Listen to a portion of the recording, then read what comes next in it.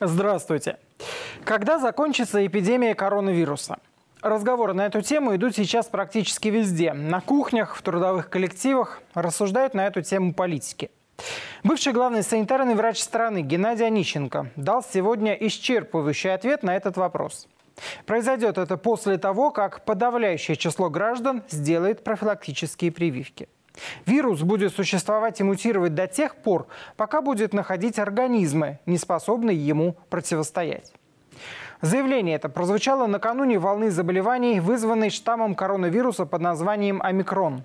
Окажется ли она последней или инфекция и дальше будет уносить жизни и вредить экономике, зависит от каждого из нас. Это тот редкий случай, когда от конкретного человека зависит благополучие всей страны. Спасибо, что смотрите наши новости. Удачи!